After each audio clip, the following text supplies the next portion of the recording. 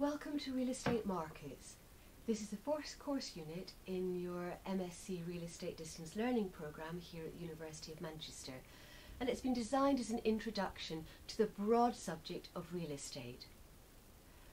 First of all let me introduce myself.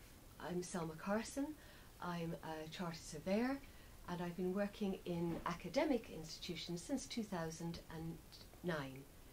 Prior to that my background is practice. I've worked for government um, estates departments, I've worked for small private practices, including my own company, and some of the big international consultancies and private investor developers. So I've got a range of background experience which I'm really keen to bring into my teaching and share with you.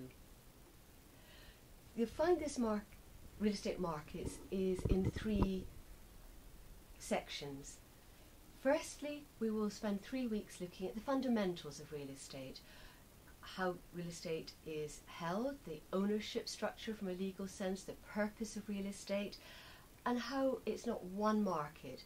It's purposely called real estate markets as a course unit because we have to subdivide both geographically and also by sector. So retail property in Manchester will be very different from industrial property in London, which is very different from office property in Dubai or Shanghai. There is a focus on commercial uh, real estate throughout this um, course unit, although we do touch on residential in one of our week's lectures. Part two of the course will be concentrating in more depth on the economic background. Macroeconomics is an important subject to understand at a high level in order to understand how real estate markets